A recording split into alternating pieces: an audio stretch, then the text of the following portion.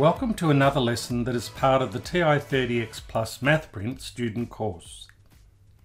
In this lesson we will be covering exact values of trigonometric ratios. Trig ratios will be given in exact format if possible with a rational denominator. Here are some example calculations to highlight this exact format. The sine of 60 degrees. As we are in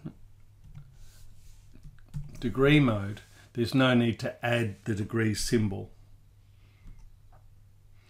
Note that the answer is given as a fraction with a third on the numerator. To work out the approximate value, choose the answer toggle key. As a second example in degree mode, let's find the inverse cosine of the ratio 1 over square root of 2.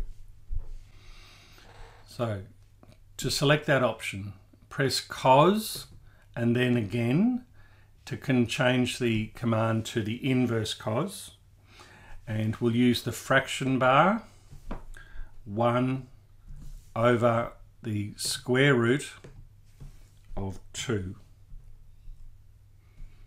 Close the brackets and press enter. Because we're in degree mode, this says that the inverse cos of the ratio 1 over root 2 is 45 degrees.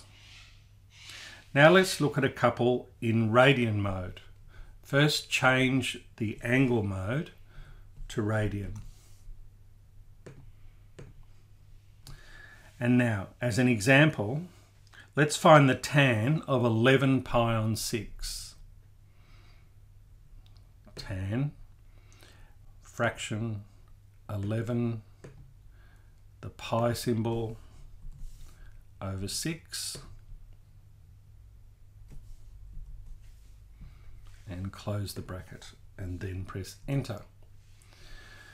And this says that the tan of 11 pi on 6 is minus root 3 on 3. Again, note the answer is expressed as a default, if it can be, as a fraction with a rational denominator.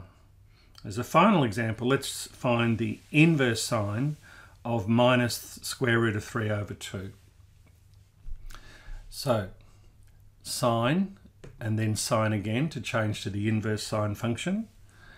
And we're going to do a fraction and we'll choose the negative symbol and then the square root of 3 over 2 and then close the brackets and this tells us that the inverse sine of minus root 3 on 2 can be expressed as minus pi on 3.